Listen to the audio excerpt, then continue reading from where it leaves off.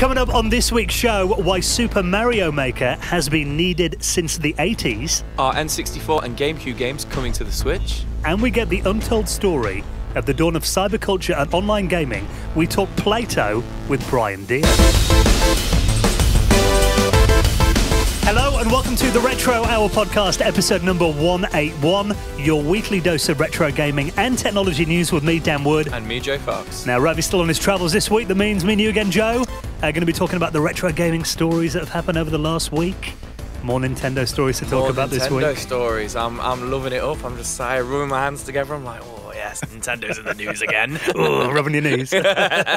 and uh, this week we are going to talk about something that um, I, I haven't seen much about this. Now, we, we've often talked about our kind of history, you know, personal history with games. I mean, you're more of a console guy growing up. Absolutely. Um, yeah, I love consoles as well, but my background was a bit more in computers. Yeah. And my parents, I mean, my mum and dad worked in computers in the 70s. Both programmers, weren't they? My mum is, yeah, well, she was. yeah. And retired now. And my dad, I mean, we kind of say my mum used to program them, my dad used to build them. Yeah. Okay. Um, he was a circuit board designer. My mum operated mainframe computers oh, okay. back in the 70s. So you're talking like these um, massive machines that probably filled up like double the size of the room we're in now yeah. and probably had less calculation power than a pocket calculator today. Amazing. And she used to, you know, everything was loaded off like punch cards Yeah. and flipping switches and that kind Yeah. of thing. Don't- Didn't have displays on Um, that kind of thing. Here, my mum still asks me to set her up a new email address whenever Yeah. she gets a new computer because the internet exists within that computer. Um, worlds apart. Actually, a cousin of mine said to me recently, um, said, "Oh, yeah, I haven't got the internet on my phone."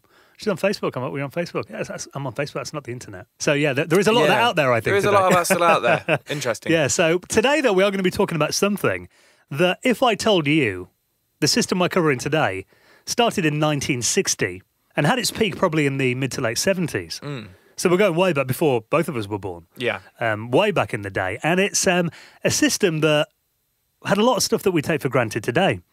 This was called Plato. Now, let me tell you a few of the things that people were doing on Plato back in the 60s and 70s. What about online chat rooms? That blew my mind when you told me that. In the 60s, chat rooms, putting swear words across the computers. And this was real time. Yeah. This is real time. online dating. People doing that on it. Okay. It had online gaming. Because Plato was an online system, pretty much every game on it was made for multiplayer. Okay. So you probably had the, the reckon the first multi-user dungeon game Yeah. was founded on Plato. The first graphical first person shooter in the 1970s on Plato. It had stuff on there as well, like, uh, you know, people would go on there and write news articles. And it had online newspapers in, Yeah. in the 1970s. And this was big in the in universities. This was mainly used, wasn't it? Well, this was a system, yeah. I mean, it kind of, I think it actually predated the, you know, we always talk about the ARPANET, Yeah. Which is what the modern day internet grew out of. And that was um, originally a military project. Mm. But Plato was invented as an educational tool. okay. um, until kind of all these users got their hands on it. Yeah. Because it was mainly in high schools and it was universities and colleges. And it was a lot of teenage users, people in their early 20s, Yeah. who suddenly discovered they had this kind of big ecosystem. This, like, like I said before, the dawn of cyberculture. Yeah. And they eventually took over this system Mm. and started making stuff like online gaming and chat rooms. And Mm. really, it was, you know, the stuff that the rest of us did probably in, you know, from the late 90s onwards. These guys were doing in the 60s and 70s. That's pretty mind blowing actually, because you think you don't think like you always hear these stories about oh yeah the internet was made in the 60s and the 70s and stuff, and you always just think yeah but it didn't do anything, did it? We didn't do anything until, with it until the late 80s, the early 90s. But that's quite fascinating to hear that actually we did have all these things in real time as early as and this was created in 1962. 19, in 1962, I think, was a release of it. Yeah, so it started in 1960, but it also had um, multi-touch touchscreen. It had a flat screen plasma display. So plasma display was invented for Plato. Okay. And you remember when the iPhone launched? I mean, the iPhone recently celebrated its 10th anniversary. Yeah. And I still remember, you know, you can watch it on YouTube. Steve Jobs doing the introduction when he demoed that multi-touch on Hmm. the screen. He's like, you know, do we want to use a stylus? Oh, who wants that? We're going to use a finger. And everyone thought it was so revolutionary. Plato did that 30 years earlier. Yeah. Figured out that the finger was the best tool to. Yeah, not even 30 years, you know, 40 years, yeah, really. Yeah. Like, you know, so far in advance of everything else. But the criminal thing is that this system is mostly forgotten. Mm. No I've never heard of it. Yeah, I mean, I've been at computers all my life. I hadn't heard of it till recently. Yeah. And it really hadn't been documented. So today we're going to be joined by a really interesting guy called Brian Dear, who's written a book called The Friendly Orange Glow. Because Plato, it had graphics, but all the, the, the screens were like those amber displays. Oh, okay. So he talks about, you know, looking in through, like, you know, kind of like there's rooms there, one room called the zoo that he talks about in his book, where the university students would go in probably about midnight Mm. and they could stay there overnight while, you know, the, the computers weren't busy. And they lock themselves in, they, they go for breakfast, out, you know, about eight in the morning when Yeah. the rest of the team came in to do actual work on it. But he said he'd look through and you'd just see like an amber glow and all these like, you know, geeks playing online games at like, you know, two in the morning. So sounds amazing. So we're going to get the story, the untold story of Plato with this week's special guest, Brian Dear. I think you're going to find this one really interesting and stuff that you've never heard about before. Really good. And his, his book's actually available on Amazon, so I'll put a link in the show notes to that. Now, we're also going to talk about some really interesting stuff like Infocom and um, Mario Maker as well that I've just picked up. Mario Maker 2 on the Nintendo Switch. I've not played it. Joe, I don't, well, I've not got a Switch. I'll buy you a Switch. Buy me a I didn't say Switch. that. Now, before we get into that, though, I mean, proving that I haven't got any money, we actually do need donations to keep the There show we going. weekend. Just saying. So, um, I mean, doing a weekly podcast, it does come with its expenses. And anything we do get in doesn't go to buying Joe a Switch, I do promise. It all goes back into the running of this podcast. So if you'd like to support us and keep the Retro Hour podcast going every week, I mean, now we're three and a half years we've been doing the show every single crazy. week. That is crazy. Haven't missed an episode. We've done a lot in those three and a half years as well. the fact that we can keep doing it this long is really thanks to you guys uh, helping us out with the running of the show. Now, if you would like to support the podcast, you can make a little donation of any amount, and all of it, 100%, will go back into the running of the show, help pay for our expenses, um, studio time, hosting, all that kind of thing, website hosting. So if you'd like to make a donation via PayPal, you'll find the link on the supporters section of the retrohour.com, or you can do it direct from your app. It is PayPal at the retrohour.com. And any amount will earn you a shout in a future episode on the Hall of Fame. Just like this week, Jean Runard Guthier, Brian Darling Andrew Alles, and Gareth McKee. who all made donations into the running of the show. And if you'd like to do the same, please do. You'll find it at theretrohour.com. Now, we're talking about Super Mario Maker there. I mean, I love the original on the, the Wii U. Did You've got a Wii U? I had it for the Wii U. Okay. Yeah, yeah. I I actually got my Wii U as like Mario Maker came out, like the death of the Wii U. You know, Yeah. it was the end of the Wii U. I got a good deal on it, and I really enjoyed Mario Maker. But there was just like certain things where I was just like, I wish it had this, and I wish it had that. Um, and I can't think off the top of my head, but I'm sure these like these things are now going to be in Mario Maker 2 because there was so much to do in Mario Maker, and then Mario Maker 2 came, and I was a bit like, well, how can you top that? And then the more I think about it, I was more like, oh, actually, you know, it was, it was, it was missing this, and it was Well, online that. multiplayer was one big thing. Yeah, Yeah, that is now in Mario Maker 2. Yeah. Um, and it's already, I mean, you know, it, it's already become like number one in the sales charts this Yeah. week, as, as you'd expect, I think, overall in games. Mm. Um, but there is an interesting article I was reading on The Verge, and they're talking to um, a guy called Takashi Tezuka, who was um, one of the producers. He was the assistant director on the very first Super Mario Brothers game um, back in the mid 80s. And he talks about the process of designing levels on that first NES game. Yeah.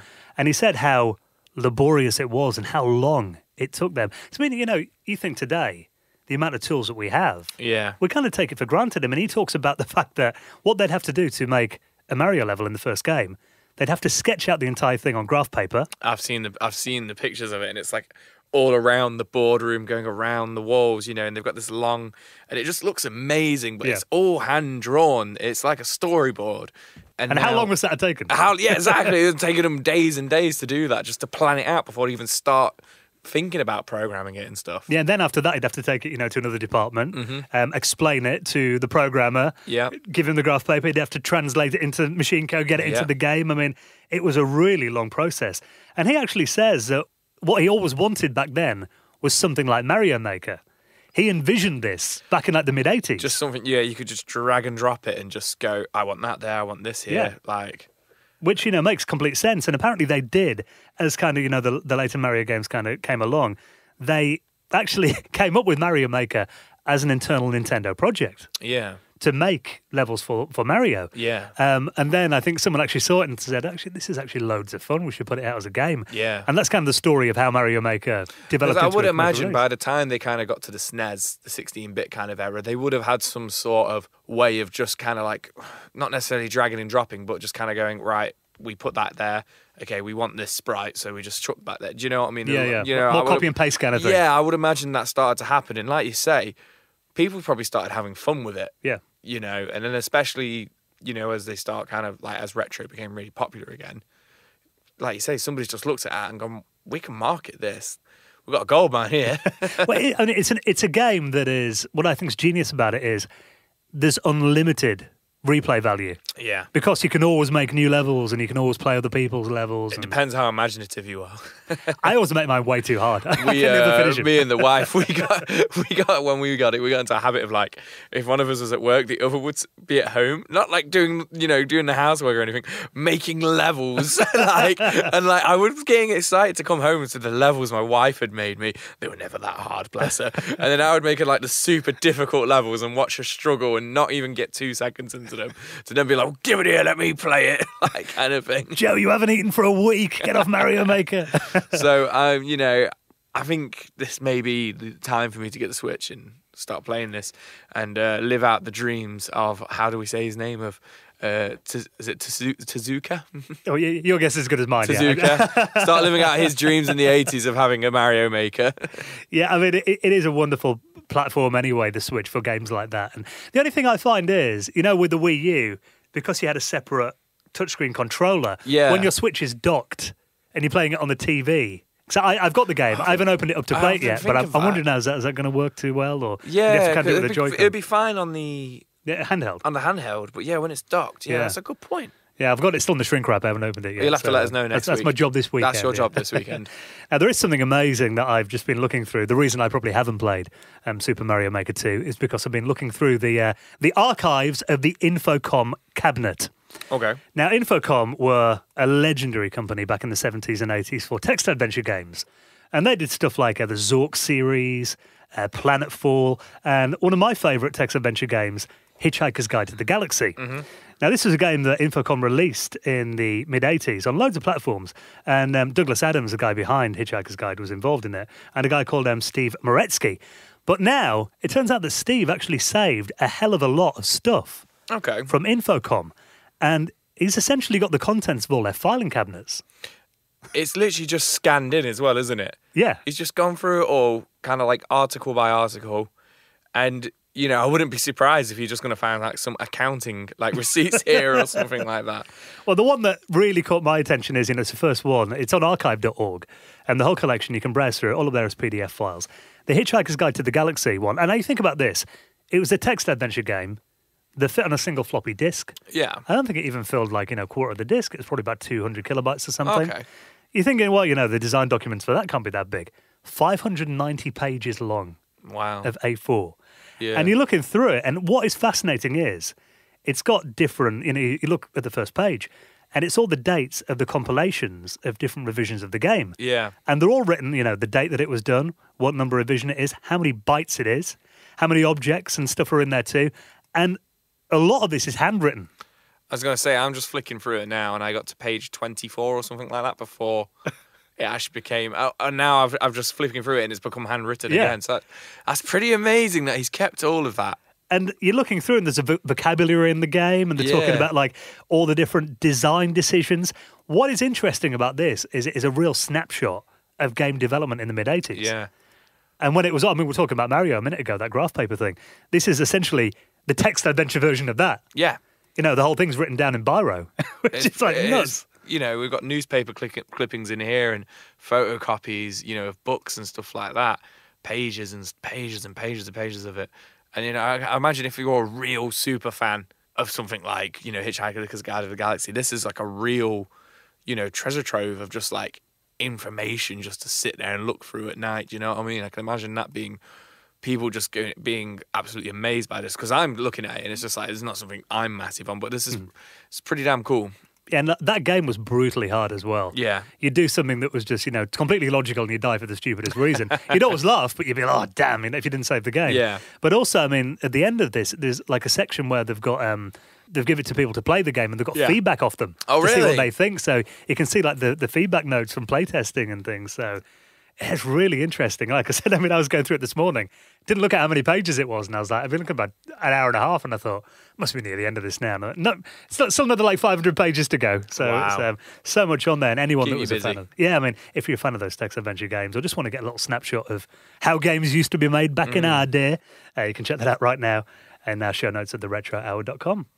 Now, we're talking about the Switch before, and one thing I think you'll probably do, Joe, if you do eventually get your hands on a Switch, is play a few old NES games. Yeah. There's a lot of them on there, and every week you go on. I don't know if you, have you actually seen the the NES library on the Switch before? Right at the start, Okay. you know, when you first when you first got the Switch and you were bringing it over and showing it me, and we had it on the train and in the car and stuff like that. Yeah. You know, looking at the the library, but from what I understand, it's pretty big now.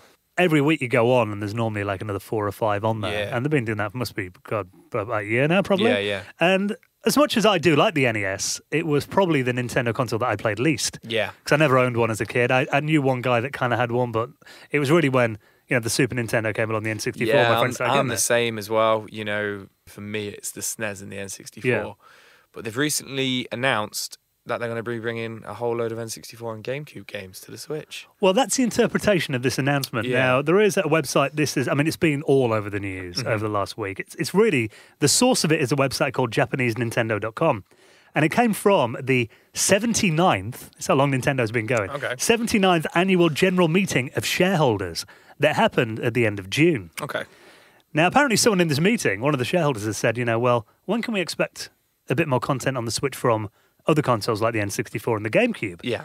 And they replied with, this is the, the translation Okay. of the quote. So, I mean, there could be mistakes and Could be a bit misinterpretation here. So, the response from Nintendo was, at this place, we cannot tell new information about future classic hardware, among others, but we are thinking about providing an extension of the online service, which is currently providing Famicom, NES software, as well as other methods of providing them.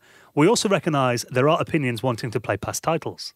So that does sound like the. I mean, I, I, I can't really think of any other interpretation of that than they are oh, looking at other systems. Yeah. Okay. I don't know why they've come out with N64. I got well GameCube. excited. I'm like, it's coming out. It's coming. It's got to though, hasn't it? it's got to. I mean, the GameCube needs some love. Come on, man. What a system. Come on, man. Come on, Nintendo. Come But on, it- Mr. Nintendo. But there's so much opportunity there. You know, people they want to play Mario Sunshine. They want to play uh, Luigi's Mansion. You know, we got some re-releases of some of the Zelda games and Yeah. stuff on the Wii U. But let's get them on the handheld. Let's get them on the go. You know, that would blow my like 12 year old mind, my 12 year old mind, to be able to sit there on the go playing these games in such nice graphics and stuff on the Switch to actually sit there and play Mario Sunshine, Wave Race, and stuff like that, and even some of the N64 games. Yeah. You know, we got a lot of those, some kind of N64 interpretations on the DS and stuff like that. But to actually play the original, do you know what I mean? You yeah, on and especially when you put it on your TV as well, you know. There's some games Yeah. out there which really need some love. Yeah. And they need the Switch. And, and you know the Switch could support it easily. I mean, we, Yeah. we had the Virtual Console on the Wii U that was Yeah. Mm. one of the most loved features about the Wii U. And it kind of, it's blown my mind that the Switch has been out two years now and they still haven't put anything like that in there. Yeah, it's like, it's a bit strange. it's got to be coming. And like, that's the thing that fans are crying out for as well. It's like, because it's weird because the Switch, I've not seen any breakdown of the demographic. Mm-hmm. But I imagine there's a lot of. I mean, my my nephew Harry, he's five years old. He loves his Switch. He's on it all the time, and the NES doesn't mean anything to him. No. I mean, but then again, neither does the N64 or the Super Nintendo. Yeah, but I it's think those games are probably they are more relatable to him. But you've got to think as well, the people who, those players who grew up with the N64 and the GameCube now, they're now coming to that age where Yeah. they've got children Yeah. and five year olds and stuff. I would love to be able to show uh, my children in the future GameCube games on the go and stuff like that as well. Like I think that's it's a, it's a it's a market. It's something they're missing, but potentially yeah, sounds like it might be coming. Maybe they're going to do the mini console. So that a lot of people are saying the reason they don't want to do this is because they want you to buy the mini console as well. But Yeah. I think real Nintendo fans will just get both anyway. Yeah, this is, I'll Yeah. get both. yeah, exactly. Yeah. So it's, I, I think it, it makes sense to do it, and they probably have got it running. Yeah. just yeah, just need to get it out there. I Yeah, so. true. Come on, Nintendo, stop taking down fan games and release actual good games on your systems that we want to play from back in the day. Rant over. Rant over. Right, well, thank you for checking out the news this week. I'll put everything we talked about in our show notes at theretrohour.com. Um, of course, the podcast comes out every Friday. If you would like to leave a review on your favourite podcast service of choice, um, or a comment or a five star rating, that always really helps the show. Uh, tag your mates in our social media profiles. We are at Retro Hour UK on Twitter, Instagram, and Facebook. And get us on all your favourite social media platforms. Any way can help get the show in front of new people. It's always massively appreciated. And now, let's get the story, the untold story of a truly groundbreaking system.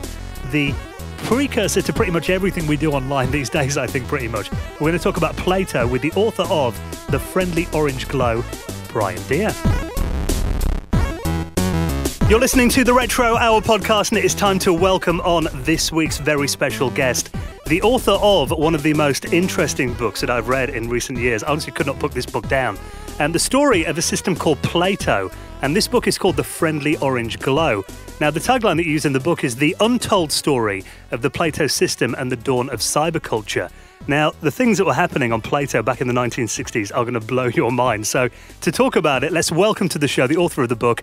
Welcome to the Retro Hour, Brian Dear. Thanks for having me. Now, let's just quickly summarize. I mean, obviously, we'll get a bit more into the details of exactly what Plato was and what it did and um, your experiences with it. But can you give us a, a, quick summary for people that might not be familiar with it? What was the Plato system? So, uh, the Plato system was uh, built starting in 1960 at the University of Illinois, Champaign, Ur- uh, Urbana Champaign, Illinois.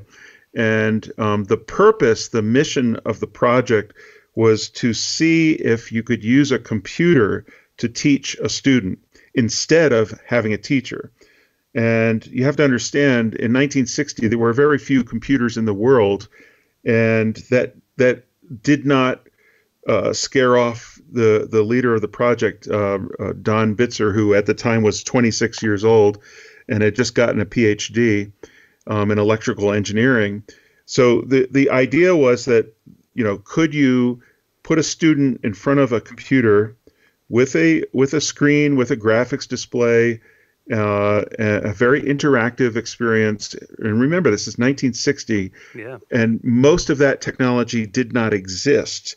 So that did that again did not scare them. So they went ahead and uh, it was a very scrappy project with very low budget, and um, found a broken used television uh, legendarily, it was in an alley somewhere. They bought it for ten bucks off somebody. Um, the tuner didn't work, but the video worked, and the screen worked, and they they they hooked it up to a uh, Raytheon storage tube, which was a cathode ray tube for storing digital data, and you could digitize video, um, send in digital data, and draw uh, display, including text and graphics, in, into the storage tube, and then that and then output that into a television display. And so the idea was eventually they'd figure out how to make real computer terminals, but this was the test. And the interesting thing about Plato is that it kept uh, going as a project all through the 60s, and the ambitions were enormous. The idea was to build a whole network of terminals, hopefully hundreds and then thousands and then ultimately millions um, all connected to essentially supercomputers. By the 1970s, the University of Illinois was up to Plato version 4, Roman numeral 4, and that's where all the interesting stuff happened. And the majority of my book is about what happened with Plato 4. Probably the most notable thing that I, you know, I spend the most of the time in the book about is the fact that the Plato system initially had this mission of being purely educational, but the the great irony of, of the story is that the the very students who were exposed to Plato discovered that this was an amazing platform for not just education but but for fun. Turned out to be a fantastic platform for developing games and interactive social applications. And so, starting around 1972 or so, you start seeing the beginnings of the, the, the very students at the University of Illinois and local high schools in Champaign Urbana, Illinois, realizing that you know uh, you could actually develop your own stuff on this system and share it with others. And within a few months, you start seeing chat rooms and, and instant messaging and uh, message forums, message boards, and all that kind of stuff. And of course, multiplayer interactive games um, you know, the likes of which had never been seen before. And you know, it might help to just quickly describe the um, what the hardware looked like, yeah. what people were using circa 1972, because that that too was insanely futuristic. Um, the Plato terminal in 1972 had 512 by 512 graphics. Um, it had a built-in touchscreen and it was a flat panel gas plasma display. The, the plasma display was invented in the world for the Plato project. That's where plasma televisions come from and all that. Um, and they did that through all kinds of electrical engineering magic, which I describe at length in the book. And it's a, a, wild story. It took years for them to figure out how to do it. It was, you know, trial and error. It's, it's incredible to me because my mum was a, a, computer mainframe operator in the 1970s. Uh, uh-huh. Uh, you know, circa like 1975. She was still using, you know, it was um, punch cards and switches. Right. And you're talking then about the fact that Plato had touch screens and I mean, it, today it we're, we're, all used to it now on phones, but that was way ahead of the curve. It, it was so, and and what's what's also interesting, and you see this throughout the Plato story, is that um, they would invent stuff, and then they'd realize that it's too expensive uh, to deploy this uh, to actual users, to to actually build this and get it out to the world, would cost too much money because um, uh, for a variety of technical reasons, but mainly just because stuff was way too expensive. So, um, for example, when they invented touch uh, on the touch screen, they also invented multi-touch. They, in other words, multiple fingers touching and doing gestures and stuff like that. They knew all about that stuff. This is, you know, circa 1970, 71, 72 when they were designing the touch screen. But then they realized that that's going to require too much smarts in the terminal, which these were essentially dumb terminals. Uh, without you know much of a or really a, a, a, local processor on the scale of a PC or something that would come in a few years. But uh, you know the, the, Apple much much later on, you know in the in the 2000s when they started putting touch into uh, the iPad and the iPhone, they had the luxury of it's all local, so it's not going over phone lines or or even the internet or anything. It's all in the device, and they had the advantage of of years and years of Moore's law bringing the price of CPUs and chips and memory and all that stuff down, and the, the shrinkage of to nano scale in terms of uh, chip design and everything. That stuff didn't exist yet when Plato was was was uh, happening, and so they couldn't do all the fancy touch that they wanted to do um, all, all they could wind up with was basically you could use one finger and touch somewhere on the screen and it would register as an input back on the, the system and you know whatever your program is doing you know would respond accordingly but it was remarkable that um, you know they decided to go the touch route uh, because they were having lots of debates with the team at Xerox PARC, alan kay and all those guys right at the same time and um, they had big arguments about whether they should use touch or a mouse. And Alan Kay and company at Xerox insisted that a mouse was the right way to go. And the Plato team said, no, we don't think so because you know we want to be able to have even kindergarten students be able to sit in front of this terminal and interact with it um, without any effort and just learn it right away. And there's no more simple human interface than reaching out and touching something with your finger. And it's really interesting because Steve Jobs used exactly that argument in the famous 2007 video that you can see on YouTube, you know, the, the famous introduction of the iPhone yes. to the world. You know, he was saying like, you know, it, it, it, almost word for word the same phrases, and it's it's interesting that you know Jobs, of course, had embraced the mouse because he saw the mouse at Xerox PARC in 1979 and you know the Macintosh came with the mouse and the Lisa came with the mouse and everything since has come with the mouse and they went the the, the GUI approach that graphical user interface design approach that Xerox PARC had pushed for and uh, it would take so many decades for the world to basically embrace touch but it was inherent in the Plato system from you know 1972 on Let's talk about your personal experiences with Plato. How did you discover it and what impressed you most about it when you saw the system? When I was doing, you know, uh, looking at going around the east coast of the United States, looking at colleges, um, I think I was a junior in high school and I went and looked at various colleges and everything. One of the ones I went to was the University of Delaware. And um, I remember walking through the music building because I'm I'm always very interested in music, even to this day. And uh, I remember seeing, you know, all the typical classrooms, and you'd hear all the the noise in a music building because every single classroom has a piano or some other instrument, and some somebody's rehearsing, or there's a class, or some professor, you know, there's a uh, someone's taking a lesson or something like that. So you hear all these random instruments. And I walk by, I was just walking the halls, and I see this one classroom that, you know, how a lot of university classrooms will have a door that's mostly wooden, but then it has a sort of a vertical window in it, and you can look into the class. And I noticed that um, the the lights were off in that this one classroom, except I could see all these orange displays in there, and I was like, it looked, you know, just glancing at it as I was walking by, it looked like, you know, an air traffic control center or something like that with these people sitting around. And they were all wearing headphones and they were all reaching out and touching these screens with these high resolution at the time, you know, high resolution computer displays with gorgeous graphics on them. I mean, they a lot of them had uh, musical, you know, uh, piano keyboards displayed on the screen and they were reaching out and touching the notes and they were lighting up as you played them and and with the headphones it was like they're actually doing music and then you could see uh, musical notation that was just gorgeous. You know everything is orange. All the pixels are orange the background is black. And i didn't know what this was and i wouldn't know because i was you know uh, until a year or so later when i actually wound up going to the university of illinois.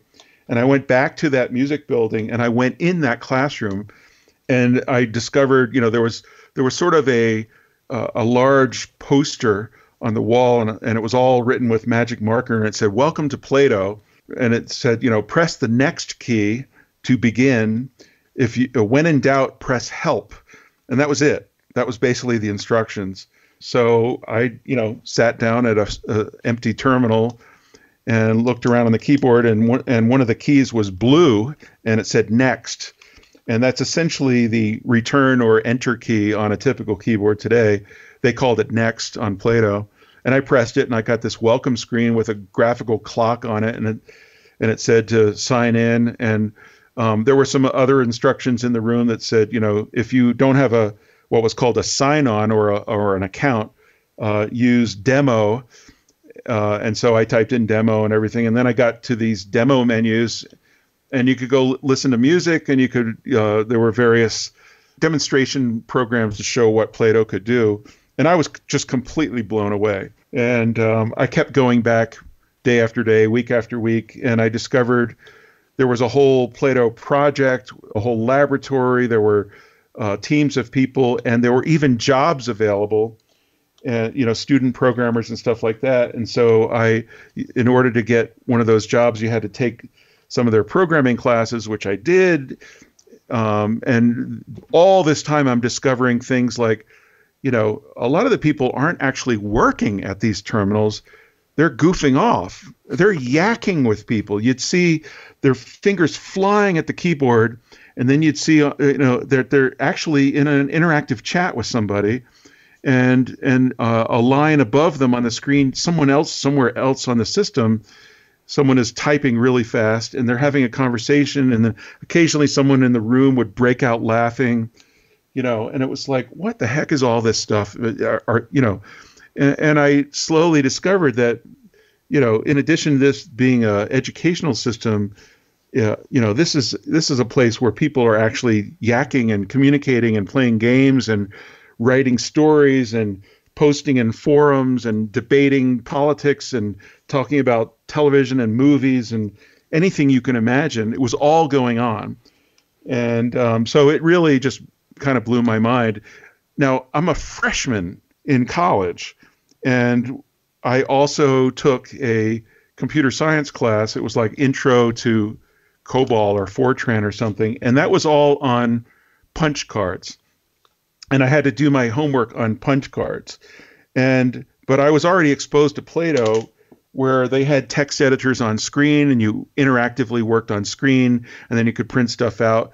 And so the whole notion of using punch cards and then using uh, and then going back to Plato, it was like this is nuts. You know, it was so so jarring. Um, Plato was so far advanced, and clearly this was the future we're talking to programming languages. I mean, while you're on that, I mean, you mentioned about those traditional languages, but Plato kind of going a bit more into the ease of use and how it was designed for users. Um, it actually had a programming language called Tutor that allowed the users to make their own programs featuring graphics, and obviously with that, I imagine you know came the games as well. Right. Uh, and and Tutor is a really interesting story because to computer scientists to this day, you know, if you mention Tutor and they've they know about it and they've heard about it, um, they will scoff and dismiss it as as an abomination, essentially. Um, you know, I, I sat down and interviewed Alan Kay at Xerox PARC many times for the book, and you know, he he uh, very famously created the Smalltalk language, which is what the uh, the Xerox PARC uh, early computers like the Alto and stuff, um, all, of that stuff was written in Smalltalk, and which is a you know object oriented language, um, so completely different than Tutor. Tutor was uh, fairly primitive programming language from the from the sense from computer science perspective. It was kind of inspired by Fortran, but it, it was designed for one specific mission, which was to help um, non-technical people be able to create interactive um, lessons and experiences for students on the Plato system. And so um, uh, things that would be pretty significant chores in another programming language, for example, to just say "Hello World" on the screen, um, were piece of cake in Tutor. You you know if if you wanted to put the word "Hello World," you know phrase "Hello World" somewhere on the screen, it, it took two lines of code, and um, you could then do all kinds of interesting stuff with it. You could change the size, you could rotate it, you could put it in different text fonts and, and there were all kinds of powers like that that that would have and then, and then of course there was a whole suite of graphics commands to draw circles lines squares you know filled in areas all kinds of crazy stuff. And um, in addition there were tools to um, create uh, bitmap images. And uh, what's interesting there is there was a there was a, a, a tool called the character set editor which basically let you design your own text fonts. Uh, Xerox PARC saw that they, they they were constantly coming over to the Plato project at the University of Illinois from California, and the Illinois people would go out and visit the Xerox people from time to time. So there was a real collegial relationship between the two labs, something that um, has never been documented before my book. I mean, I have a whole chapter about the history of Xerox and Plato, which is really extraordinary um, because Alan Kay actually um, got the idea for the Dynabook, the famous, you know, original idea for the iPad. Essentially, um, he that idea came to him when he saw a demo of a very early prototype of the plasma display at a conference that was held at the University of Illinois in 1968. You know, it, it's it's just interesting how someone once described the Plato project as the Forrest Gump of computing, which I thought was hilarious and so apt because, you know, in that movie, he keeps popping up at all these important eras in history, you know, and of course it's all fictional, but, you know, there he is uh, shaking hands with uh, the president of the United States in the Oval Office. And, and and he's in the Vietnam War, and he's in this famous incident and that and all that. And um, Plato was similar in that it kept popping up all over the place in the world of computing, and yet it stayed largely ignored. And um, that, in its own right, is an interesting story. But um, you know, getting back to, to the Tutor language was very specifically written for Plato, and it had some interesting capabilities because it was running on a mainframe um, there were very simple tools that let you create programs that could share memory with other programs. One of the things that emerged out of that is the ability to to essentially write a game with multiple users in it. Um, because you know you could you could have one set of memory that would update the score, for example, and the positions of uh, spaceships or whatever it is in the game or whatever, and the status of every player in the game, that that exploded overnight practically. Um, it, it became kind of a badge of merit to burst into a party somewhere in Champaign Urbana, Illinois, in the early '70s and say, you know, I have a new game, and check it out. And and and your game, it was almost like you know the top 40 hits of the week. Um, how many games there were and how they would come and go in terms of popularity. Um, you know, there there might be some game that everyone played on a Friday night, but by Saturday night, someone else had come out with a competing game that was even cooler, and everyone dropped the first game and went to the second, and that went on for years. And um, of course, the only way to create a truly popular game that would stick is to create something that was much more sophisticated and required a lot more work. And um, and and that that and so that's exactly what happened. Basically, you know, more and more games started emerging that uh, people would spend uh, all nighters living in, whether they were space war games or Dungeon and Dragon games you know, uh, and and again, you know, the, the the funny thing about the whole Plato story is you typically will find not only early examples of all these kind of you know the games that we take for granted today but they are typically happening years before even the history books talk about early computer games because Plato was so ignored outside of it of the sphere of people who used it that it never actually got into the history books. And so, you know, you can go to a computer game developer conference or, you know, the history track or something like that, and you'll never hear anything about Plato. And this would go on for years and years and years. Kind of drove me crazy because I, I saw it all and I was a late arrival, you know, showing up in 1979 on Plato that was even past its golden era. Well, there is um, one chapter in the book that I found really fascinating, and that was about the uh, story of a game called Empire. Uh, you know, you yeah. mentioned about the, the online gaming there. I mean, you know, I think my first online gaming experience probably wasn't until like Doom in the mid 90s. Um, yeah. But we're going back two decades before that now. Empire, um, this was a space game with up to 32 players online at once. And I thought it was interesting that um, Silas Warner was involved in it as well. Of course, went on to create Castle Wolfenstein um, right. in later years too. So um, tell us a bit about Empire and kind of um, how that game worked and your experiences of it. Well, you have to understand this is, you know, the early 1970s. The people who were drawn to Plato tended to be kind of geeky and nerdy and all that stuff.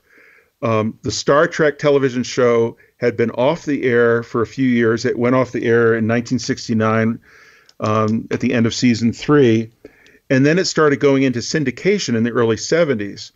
And so a new generation of, of high school and college kids were completely addicted to Star Trek. And the, the stories I heard of the students of that era, you know, if, for example, if you were an undergrad and you were into Star Trek at the University of Illinois, you would design your course schedule around when Star Trek was doing reruns, even if it was in the middle of the day on the local television station. You know, typically there'd be a Star Trek episode at like four o'clock or three o'clock in the afternoon. And so, you know, everyone would be glued to TV to watch a rerun of Star Trek. So Trek was everywhere. It was it was just uh, just part of the culture, and so that got reflected in some of the games. And this one game, um, empire has a very long, interesting sort of evolution. Um, uh, there were really two uh, key people um, behind it John Daleske and Silas Warner, and they were both kind of working on different space war games around 73 or so, 73, 74. And um, they collaborated a little bit. They they used uh, Plato's Term Talk, which was their instant messaging uh, tools, to to talk. And uh, John Daleske was asking Silas a bunch of questions and everything.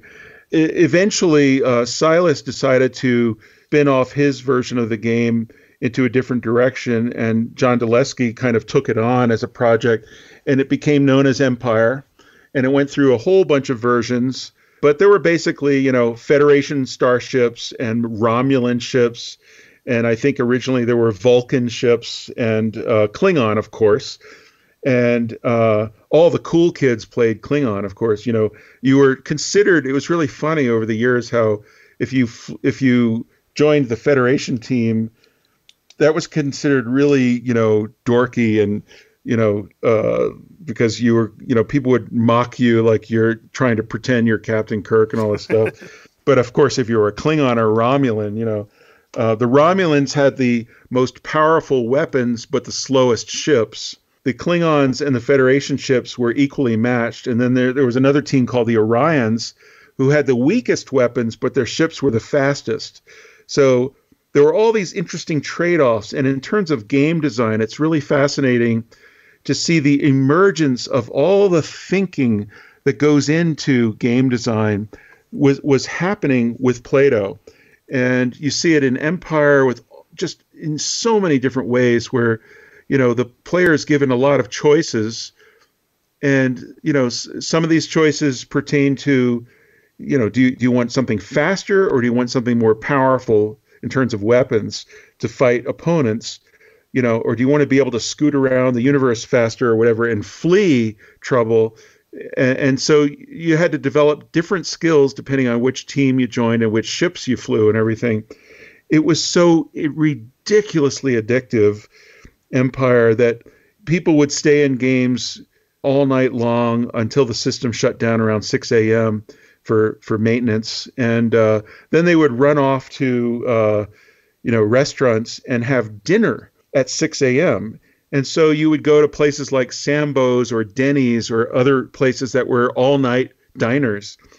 And it's funny because apparently the restaurants kind of dreaded when the Empire kids would come in because you know they would order things like steaks you know and and, and full huge meals at six in the morning when everyone else they're serving is you know sipping on coffee or having bacon and eggs. They would take over big tables and discuss and debrief on all of the games that they had played. There was a great anecdote that i heard from one one guy who who was famous in the empire scene at, at illinois during these years uh, they were uh, it was the federation team and they were sitting around a huge table and discussing how they had, had been defending earth all night long from an onslaught of enemy ships and everything and they had finally uh, defeated them in a great victory and conquered the universe and all this stuff. And there was a elderly couple sitting at another table and this little old lady came over you know and, and told the group you know I, I don't know what you're what what happened specifically, but I just wanted to thank you for saving the earth. and, you know, and they all, of course, all broke out laughing. But um, yeah, it, it, was an amazing innovation that game, and and that was you know it marked one of the high points in terms of uh, of of a Plato game. And so if you were ambitious and wanted to create a game that was as popular as Empire, you would really have to work hard because the programming behind that game is a marvel of innovation, really. I mean, they were doing things that no other developers, even the system programmers, were doing with Plato. They made it do things that were really impossible. I mean, you'd have you know 30 simultaneous players, and they're all uh, uh, fighting and uh, firing off torpedoes and phasers and and everything, and the amount of calculations you know that were going on to figure all that stuff out and where all the the torpedoes were had they exploded yet? You know they each had their own timers and they would self detonate after a certain point.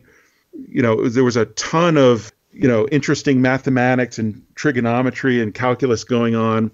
And uh, you know they made it sing. It was remarkable.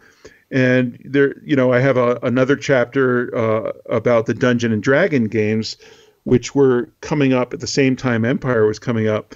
There, there's a whole history there, you know, because of Tolkien and the Lord of the Rings and the Hobbit and all that stuff. People were familiar with that, but then there was the famous Dungeon and Dragons table game that came out and took over universities in the early 70s. And of course, computer programmers wanted to cre- recreate all of that online. And, you know, it's famous that there's a text adventure game called Adventure, you know, where you you get lamp and you you you go west and then you encounter snakes or something and there's all these twisty little passages all alike in a cave and all this stuff. With plato you had graphics and you could do three-dimensional walk through caves and things like that and actually display little monsters and you know with fangs and big wings. And, and so the even the early plato games were graphical and very interactive and the most famous dungeon game was called Avatar, but when you look at them all collectively, you realize that this is where EverQuest comes from and World of Warfare and you know Zork and basically everything else. Um, and you know Avatar, Empire, all these things are still running on a pretty fully complete Plato system that's available on the internet called cyber1.org, cyber1.org. You know, if people are curious, they can sign up on these systems and, and, and get an account. It's all free. It's totally worth it to see. I mean, some of the original old timers still go in there, and there are still people completely addicted to Avatar. Well, and, I was even uh, reading that the first online first person shooter game um, probably started on Plato as well, a game called uh, Spasim by Jim Bowery. Right, right, Yeah. and th- that was an that was just a phenomenal game because it was really three dimensional and it and it rendered stuff in three dimensions. It was very slow because you know the the bandwidth to uh, send data back to the terminal display from the central mainframe, which was a you know control data cyber supercomputer. Literally, it was a 6400. You know, it was only like 1200 baud modem equivalent, and so to everything was basically drawn as lines. If you saw a planet out there or or something like that, you'd see a circle, and as you approached it, it got bigger and that kind of thing. And it did all the calculations correctly, so it really felt like 3D. It is uh, there. There was even a game called Future War, which um, is remarkable in that it's kind of like a first-person shooter game that eerily is reminiscent of parts of Doom and other games that would come out years later. And um, there's always been some suspicion among many Plato game developers that their ideas would be directly lifted into the PC gaming world. And uh, you know, I, I went and tracked down you know the authors of these games, including uh, Carmack and all those guys who built Doom. They will admit they knew about Plato, and that you know occasionally you'll hear that uh, there were Plato terminals in some of these game d- development companies. You know, Atari had Plato terminals. It's an unsolved mystery how coincidental certain aspects of much later games showed up on Plato 25 years or 20 or something like that beforehand. Well, there is one really funny chapter of your book talking about um, Empire, kind of following on from that. I mean, he said it was based on Star Trek, and Leonard Nimoy, Spock, actually got to see Empire and uh, and Plato. So what happened there is, uh, you know, after Star Trek, um, Nimoy was kind of typecast and had difficulty getting other roles, and uh, because he was so immediately the only thing missing were the pointing ears, and um, but you know Nimoy was Spock and he hated it, and so he decided to go and do stage uh, acting for a long time, and he went around the country and did all kinds of roles. Um, One flew over the cuckoo's nest, and you know, uh, all kinds of famous Broadway shows and everything. And he typically was the star, of course. And you know, he wanted to show that he's a real actor, and that that the you know, because the Star Trek thing had just really kind of ruined his career in a way. In 1974, he happened to be playing uh, the lead role in One Flew Over the Cuckoo's Nest at a tiny little but very popular theater in um, tiny town in the middle of nowhere in central Illinois, and it was about an hour away from Champaign Urbana.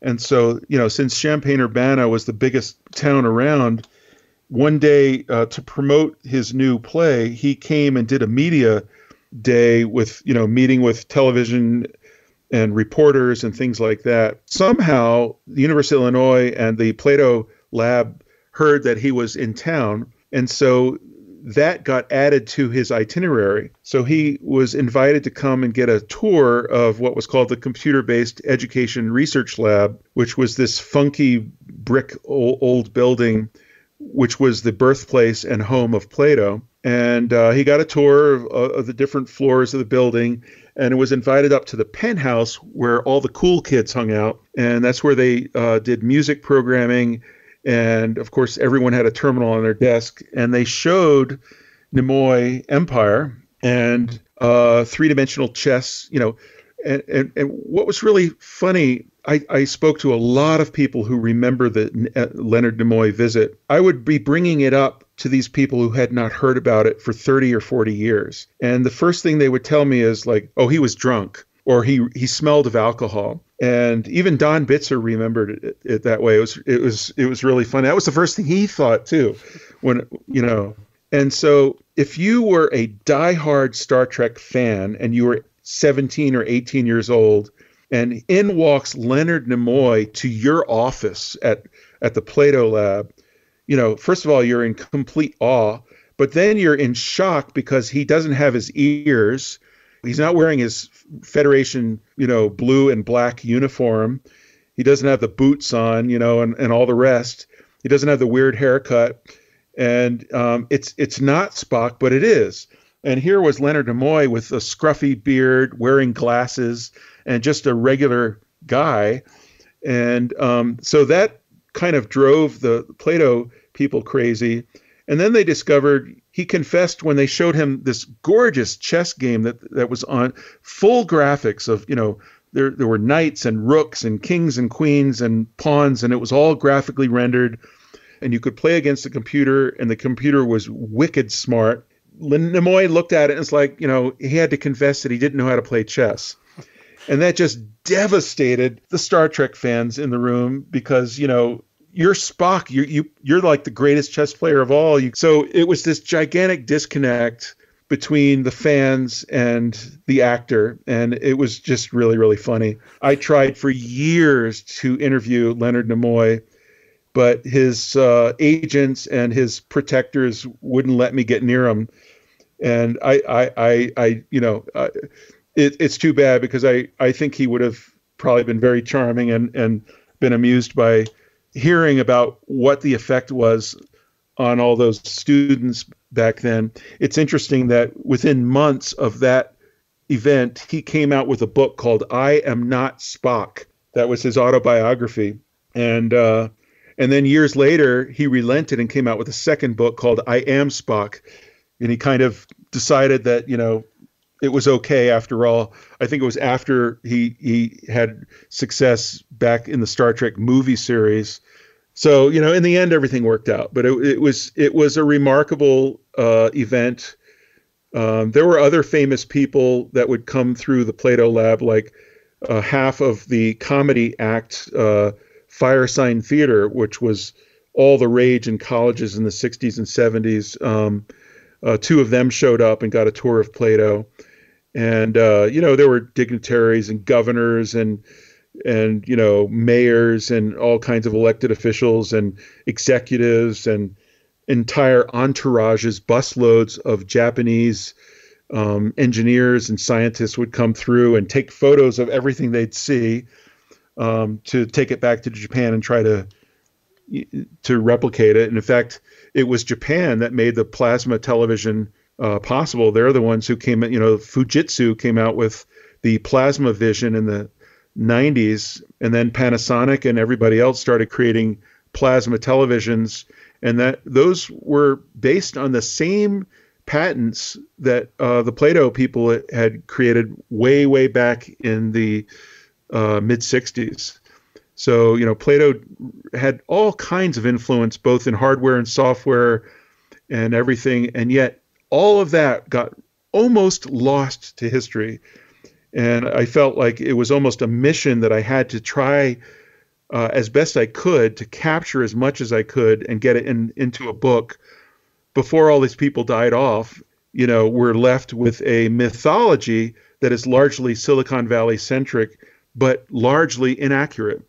And you know, I felt that that was important to try to to set the record straight. If you think about it, there are probably 20 or 30 or 40 books written about Steve Jobs, Wozniak, and the founding of Apple, and an equivalent number of books on Microsoft and Google and Facebook and Xerox PARC and anything from Silicon Valley and uh, Hewlett Packard and all that.